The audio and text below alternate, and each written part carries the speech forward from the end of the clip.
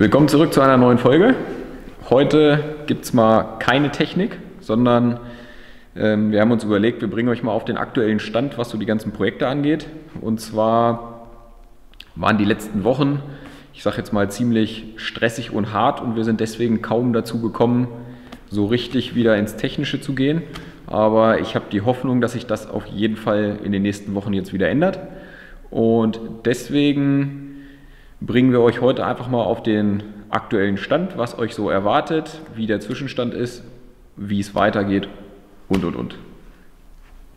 Ich würde sagen, wir gehen das Ganze einfach der Reihenfolge mal durch. Hm, also vorab, die letzten Wochen waren so stressig, weil es gibt noch ein, ich sage jetzt mal, neues Geheimprojekt. Hm, das soll relativ schnell umgesetzt werden, deswegen sind wir da aktuell relativ viel am Basteln. Mehr kann ich dazu noch nicht verraten. Aber es wird cool. Oder René, was sagst du? Definitiv, also ich freue mich. Haben wir vielleicht irgendwas, eine kleine Einblendung, die wir schon mal kurz einblenden können, äh, was vielleicht so ein bisschen. Ich kann mal gucken, ob ich was finde, ja. Also das Ganze ist auf jeden Fall in, in Kooperation ähm, mit Marius und meinem kleinen Bruder und René und so weiter eine Gemeinschaftssache. Wir bauen da als Team was. Und ja, vielleicht finden wir ja irgendeine Kleinigkeit, die wir da kurz, kurz so einen kleinen Teaser mal einblenden können, wenn das geht. Ne? Ich denke schon, ja.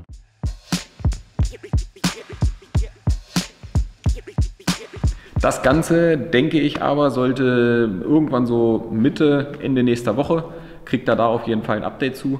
Und dann geht das an der Stelle auch nämlich relativ schnell immer weiter, weiter, weiter.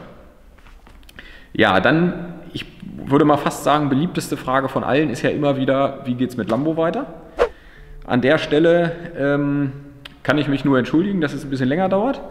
Liegt aber zur Sekunde einfach daran, dass Björn mit seiner Werkstatt beziehungsweise seiner, wie nennt man das, äh, Fertigung, Maschinenpark, wie auch immer, der zieht um und dementsprechend arbeitet der jetzt nur noch alte Aufträge ab und macht aktuell nichts Neues. Das wiederum heißt, aktuell ist mit dem Lambo-Motor erstmal Stillstand. Das wird auch noch, ich sag mal, bis Mitte April auf jeden Fall so sein. Ich kann froh sein, dass es immerhin mit Limo-Motor und so weiter vorangeht. Aber aktuell ist mit Lambo-Motor auf jeden Fall Stillstand. Und ich persönlich habe mir gesagt, dass solange mit dem Motor dort Stillstand ist, ich selber auch an der Karosse nicht weitermache, weil das Ding ist aktuell einfach komplett rundum wie neu eingepackt in Folie. Egal, was ich daran mache, es müsste erstmal ausgepackt werden und jeder weiß, wenn so etwas erstmal ausgepackt ist, dann fängt das an einzustauben, dann kannst du es nicht mehr wieder neu einpacken, weil dann würde nämlich der ganze Lack wieder zerkratzen. Und somit habe ich mich entschieden, das Ganze bleibt so lange eingepackt, bis ich wirklich den montagefertigen Motor bei Björn stehen habe. Und dann habe ich auch wieder so viel Motivation, um dieses Projekt dann wirklich in kürzester Zeit mit Prio 1 durchzupushen und fertig zu machen. Spontan für die nächsten Wochen fallen mir dort als Video ein. Wir werden auf jeden Fall noch einmal bei Björn sein und mit dem Thema Buchsen weitermachen. Also sobald es bei ihm wieder von Maschinen her geht, werden wir auch dort in den Alu-Motor die Buchsen einsetzen. Dann geht das Ganze weiter. Wir können auf jeden Fall noch mal ein cooles Video über Thema Felgen machen. Da gibt es ja mittlerweile ein paar Sätze für dieses Auto. Und der Helge von der Firma Night Factor, kennt er ja schon aus dem alten Video, der wollte mal immer vorbeikommen, weil der hat nämlich so ein, so ein, ich sag jetzt mal, eine spezielle neuartige Dämmung, die ein bisschen leichter ist als das, was drin ist. Und wir wollten zusammen einmal den ganzen Innenraum einmal neu dämmen, sodass das ganze alte Zeug rausfliegen kann und ich wieder schön gerade Flächen habe, um meinen Alcantara-Teppich da reinzulegen. Ist es dann nur Akustik gedämmt oder ähm, auch von der ähm, Wärmeempfindlichkeit? Ich würde jetzt sagen, das ist mehr Akustik als Wärme. Okay. In dem Fall ist es mir ehrlich gesagt fast egal. Ich persönlich würde bei dem Auto die Dämmung sogar rauslassen. Geht aber nicht, weil wir haben ja diese geraden Alcantara-Teppiche angefertigt und die können natürlich in der unebenen Karosse nicht liegen. Das heißt, wir müssen die Unebenheiten mit einer Dämmung erstmal auslegen und wieder gerade Flächen erzeugen, um dort halt diesen Alcantara-Teppich reinzulegen. Mhm. Welches Original übrigens genauso gemacht ist. Nur, dass dieser originale Dämmstoff, den hatten wir ja in diesem Teppichvideo schon mal gezeigt, der ist halt ziemlich, ich sag mal, dicht und auch teilweise so ein bisschen mit Wasser vollgesogen und deswegen halt schon recht schwer. Mhm. Ja, sonst haben wir ja technisch bereits zu dem Auto eigentlich fast alles abgefrühstückt und auch schon vorgestellt. Da gibt es natürlich nochmal ein paar coole, interessante Stellen. Die würde ich allerdings jetzt ungern vorab schon, schon wegnehmen. Das würde ich einfach lieber machen, wenn dann wirklich das Auto zum Zusammenbau in der Garage steht und und und. Ja, dann gibt es, äh, das war jetzt, ich sage jetzt mal, unser, wenn ich das Geheimprojekt jetzt vorwegnehme, war das gerade unser zweites Projekt. Projekt Nummer drei, Dauerbaustelle Limo. Da wird es natürlich immer weitergehen. Aktuell Motor noch bei Björn. Ihr erinnert euch dran, wir haben die Buchsen dort eingesetzt. Da ist Björn auch mit Hochdruck dran, diesen Motor noch fertig zu bekommen, bevor er final seine Maschinen abbaut. Also dadurch dürft ihr euch auf jeden Fall in den nächsten ein, zwei Wochen darauf freuen, dass es da ein Update gibt. Da werden wir als Videos bringen auf jeden Fall, wie wir das Thema Buchsen fertig machen. Das heißt, es muss noch gebohrt, gehohnt und geplant werden. Anschließend wird es wie schon immer ein Video zur Montage von dem Motor geben. Dann könnt ihr euch auf jeden Fall noch drauf freuen auf das Thema Carbontüren. Die sind ja noch beim Lackierer, beim Chris. Die sind da, glaube ich, mittlerweile auch schon fertig. Fehlte jetzt bisher einfach nur die Zeit, nach Lübeck zu fahren, diese abzuholen. Das wird allerdings auch nochmal höchstgradig interessant, weil ich selber sehr gespannt bin, wie diese leichten Türen später im Auto sitzen, wie wir die einstellen, wie wir die Türen zuschmeißen können, wie sich das Ganze anhört und so weiter. Und in dem Zuge werde ich den Leichtbauwahn auf jeden Fall auch nochmal ein bisschen auf die Spitze treiben werde auf jeden Fall im Innenraum nochmal den Teppich hochnehmen. Darunter liegen nämlich noch ganz viele, ganz viele Leichen, sage ich jetzt mal, von, von der Anfangszeit. Ich hatte ja anfänglich wirklich das ganze Auto voll mit Multimedia. Multimedia. Das heißt, da liegen noch alte CD-Wechslerkabel, alte Cinch-Kabel für einen DVD-Player. Ich hatte DVB-T drin und, und, und. Das kann natürlich mittlerweile alles raus. Das heißt, wir nehmen definitiv einmal den Teppich hoch, gucken uns an, was man da noch so vielleicht auch gegen Alu oder so ersetzen kann. Und ja, dann wird das Ganze wieder zusammengebaut. Ähm, ja, ja, ein Punkt ist noch, ich kriege neue Ladeluftkühler. Wir fahren zu der Firma Wagner nach Dessau und gucken uns diese neuen Evo 2 Competition Ladeluftkühler für den RS4 an. Die kommen auf jeden Fall in dieses Fahrzeug rein. Das heißt, kurz nachdem das Auto jetzt wieder zusammengebaut ist, geht es direkt mit dem Motor auf den Prüfstand. Wir testen die neuen Ladeluftkühler, testen, ob das mit den Buchsen alles hält. Und da wird es auf jeden Fall nochmal jede Menge Action geben. Zusätzlich, jetzt ganz zum Schluss, verrate ich nochmal kurz, wir bauen aktuell auch ein neues Setup. Das heißt, es wird neue Krümmer, es wird neue Turbolader und es wird endlich externe Wastegates geben. Das wird allerdings noch ein bisschen dauern. Ich würde jetzt mal aus dem Bauch heraus sagen, zwei, drei Monate. Und mehr will ich da auch erstmal nicht zu sagen. Ja, was haben wir noch? Ähm, Projekt Nummer 4, Marius Golf. Da sind wir ja aktuell akribisch an dem Motor dran.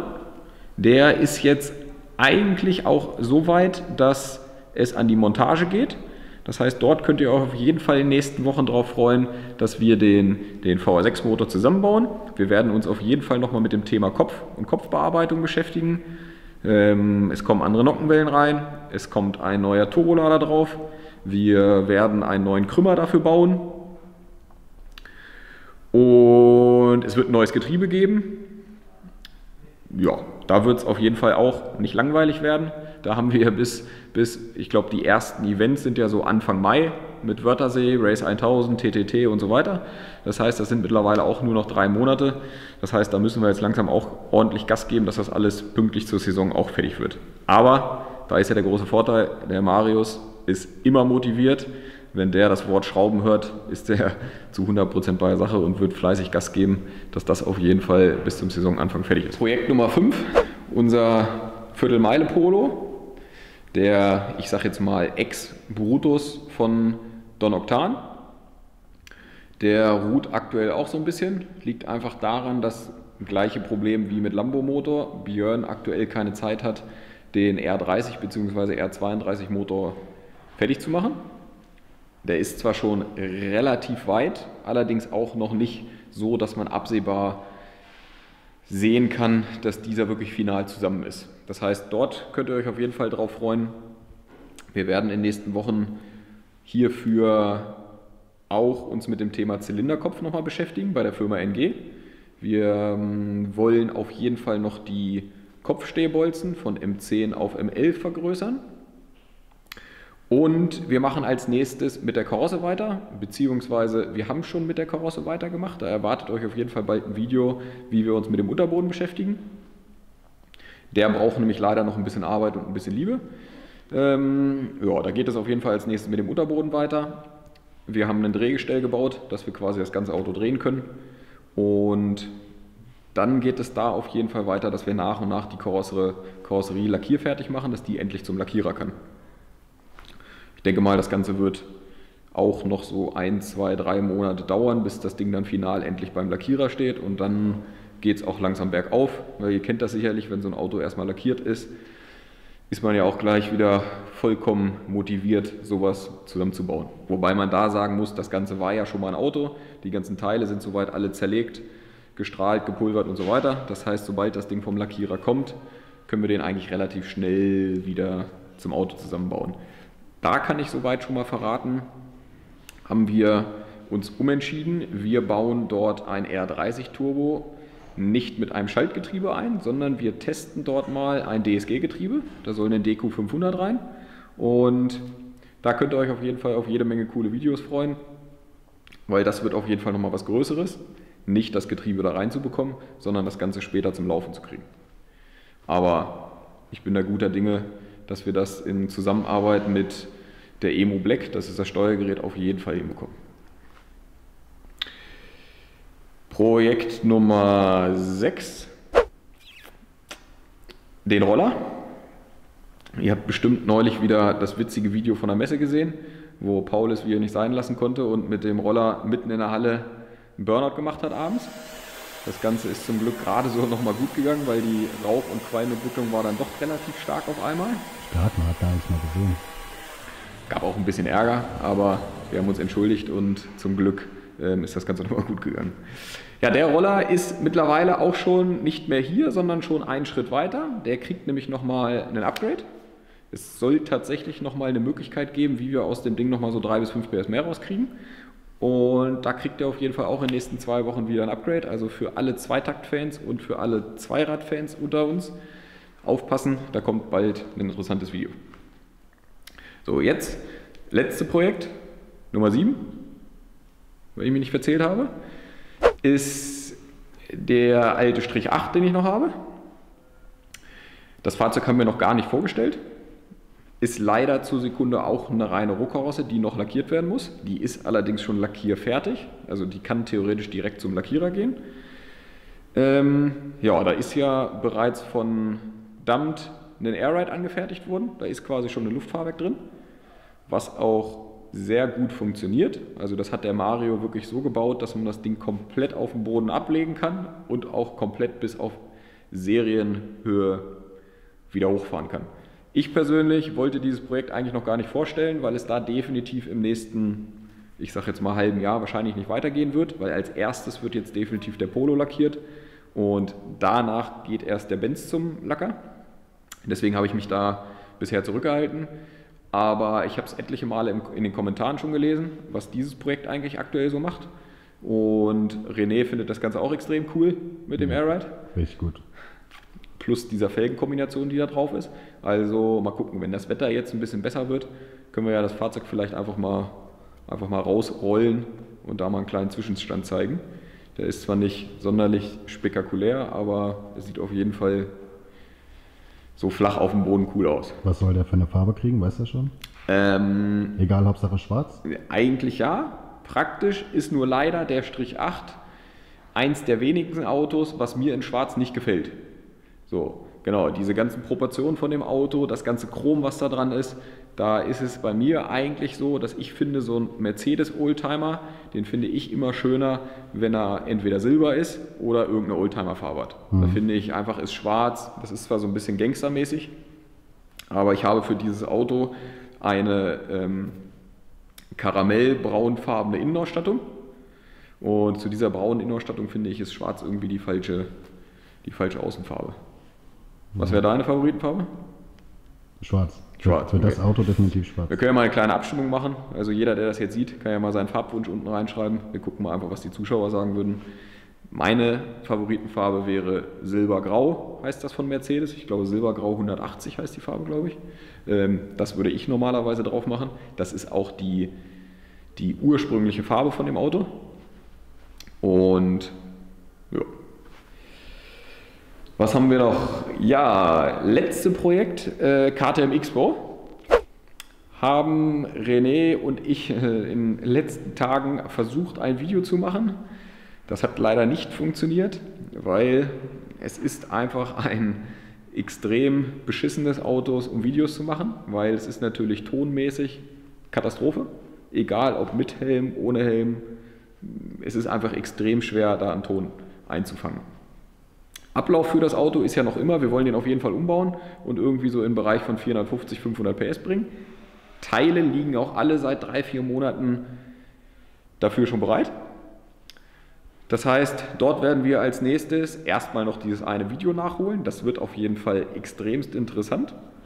Ganz bisschen vorab schon mal, es geht dabei darum, um diesen Mythos, wie viel kostet ein Beifahrer. Da wollen wir mal so in dem Auto ein bisschen drauf eingehen und mal ein paar Tests machen mit Beifahrer, ohne Beifahrer. Das Ganze kriegt ihr auf jeden Fall in den nächsten zwei Wochen. Anschließend müssen wir erstmal ein, zwei Projekte fertig machen und dann zum Frühjahr hin, ich würde jetzt mal sagen Ende März, reißen wir dann dort einmal fix den Motor raus und bauen die geplanten Teile ein, sodass wir am Ende so irgendwo so auf 450, 500 PS kommen. Und dann habe ich persönlich noch den Traum, ich würde auf das Auto gerne hinten ein paar Dragfelgen drauf machen. Das heißt irgendwelche kleinen 13 Zoll Felgen mit so einem fetten Ballonslick drauf, dass man mit dem Auto vielleicht auch mal ein bisschen Viertelmeile fahren kann anschließend. Das wäre noch so mein Vorhaben für dieses Jahr. Soll der auch einen Spoiler kriegen? Nein. Okay. Mir persönlich gefällt dieser Riesenspoiler hinten drauf nicht. Mhm. Weiß ich nicht. Ich finde es irgendwie nicht so ansprechend. Ich finde den optisch schon so, wie er ist, eigentlich fast perfekt. Natürlich, man kann jedes Auto immer noch weiter umbauen, aber manchmal finde ich auch einfach, dass es Sachen gibt, wie zum Beispiel meine Limo, die kann man nicht besser oder schöner bauen. Deswegen sollte man manche Sachen langsam einfach so lassen. Mhm. Wir können vielleicht noch ein bisschen mit Folie, ein bisschen mit Anbauteilen spielen und so weiter. Ich würde jetzt aber nicht groß anfangen, da irgendwelche wilden Spoiler dran zu bauen, weil da haben wir uns alle geschworen, dieses Auto soll immer funktionell bleiben. Das Ding wird nie irgendwie so umgebaut, dass man es nicht mehr dafür nutzen kann, wie es eigentlich genutzt werden soll.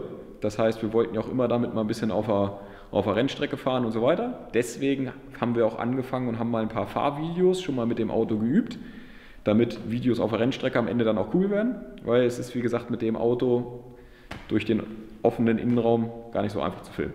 Ja, das stimmt. Jetzt hätte ich beinahe ein Projekt vergessen. Das ist aber auch wirklich dann das letzte.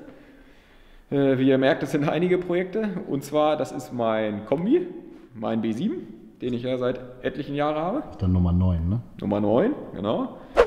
Ähm, mittlerweile ist natürlich leider auch wieder ausgeartet. Ursprünglich war einfach nur der Plan, Auto zu Patrick bringen, den frischen Motor einbauen und das Auto einfach wieder ein bisschen fahren. Mittlerweile habe ich wieder ein bisschen Interesse an dem Auto bekommen und auch richtig Spaß. Wir haben die Krümmer eingepasst, als nächstes kümmern wir uns um die Ansaugung. Und abschließend werden wir auf jeden Fall mit dem Auto nochmal eine Leistungsmessung machen und werden mal gucken, wie krass der Unterschied zwischen vorher und nachher ist. Viele erklären uns ja für komplett bescheuert, dass wir uns den Aufwand machen, diese Krümmer da einzubauen. Für mich persönlich ist das nicht viel Aufwand. Ich bin ganz andere Projektumfänge gewohnt, wo du viel, viel, viel mehr Aufwand in manche Sachen reinsteckt, die niemand sieht. Deswegen für mich ist das okay. Cool wird nur am Ende sein, wenn es funktioniert und wenn es dann natürlich auch noch Leistung bringt. Ich habe schon in ein paar Kommentaren immer so ein bisschen geschrieben, das wird keine 50 PS bringen, aber wie gesagt, dieses Auto ist ja ab Werk eigentlich komplett zu hoch angegeben. Mit die 420 PS haben die nie mein Auto hatte bei der letzten Leistungsmessung bei Tidi, glaube ich, um die 400 PS. Und wir haben jetzt die Hoffnung mit all dem, was wir jetzt umbauen, dass wir am Ende irgendwie so auf 450, vielleicht 460 PS kommen. Meinst du so viel? Ja. Ich persönlich wäre enttäuscht, wenn ich, man darf nicht vergessen, der hatte 400 PS mit einem Motor, der fast 400.000 gelaufen hat. Ne? Ja, das stimmt. So, jetzt frischer Motor, frisch gereinigt, die Krümmer dran, die Ansaugung geändert. Ich habe noch so ein paar andere Kleinigkeiten gesehen, die wir auf jeden Fall auch noch ändern. Und so 450, 460, so in dem Dreh muss der Motor eigentlich danach schaffen, wenn das Ding gut im Futter liegt. Ne? Mhm. Man muss dazu sagen, der RS5, wo die Krümmer herkommen, hat ja Werk schon 450. Und laut Tillmann erreichen diese Autos auch die 450 PS. Also wir sind da guter Dinge, das muss einfach was bringen. Was mich am meisten reizt, ist, ich bin gespannt, inwieweit sich der Klang verändert. Mit diesen neuen 4 in 1 Krümmern und diesem 70er Zentralrohr. Vorher hat man ungefähr nur 60, 63,5 mm gehabt, muss die Akustik eigentlich auf jeden Fall ein bisschen dumpfer werden. Und deswegen bin ich gespannt, was da am Ende bei rauskommt. Ja. Genug gequatscht. Ich hoffe, ihr fandet das nicht allzu langweilig.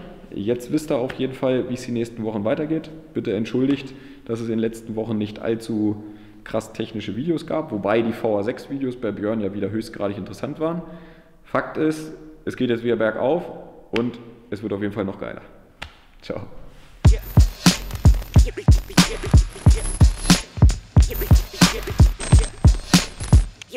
Yeah, yeah, yeah.